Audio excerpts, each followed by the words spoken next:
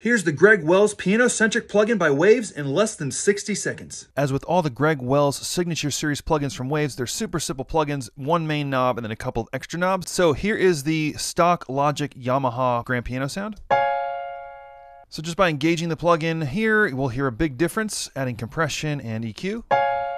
When you turn it all the way to the left, it's not like it's turning to zero, it's actually an EQ curve. So as you hear, it's all the high end gone. And you can dial that in all the way up. Make it super bright and full. So that's just the main knob here. Over to your right, a delay setting. This syncs to the tempo. So instantly brightens that up. You can make it really pronounced or just a subtle thing to sneak behind it. And then the other main knob here is the doubler. Dial up as much as we want or as little as we want. Give it a fuller sound. Can almost act like a chorus or a flanger when you get all the way up. Just a couple of knobs, you instantly have a fuller piano sound with Greg Wells Piano Centric, and here it is in the mix.